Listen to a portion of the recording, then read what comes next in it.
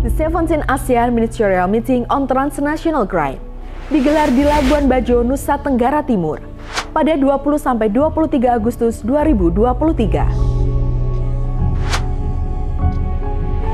Pertemuan setingkat menteri khusus membahas isu-isu kejahatan lintas negara di Asia Tenggara.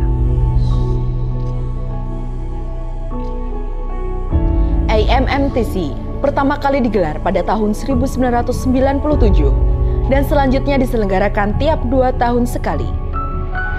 Namun sejak 2017, pertemuan EMMTC diselenggarakan setiap tahunnya.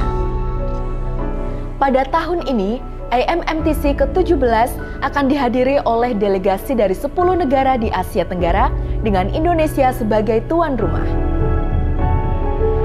Kemudian delegasi negara mitra dialog, yakni China, Jepang, dan Korea Selatan, serta satu negara peninjau, yakni Timur Leste.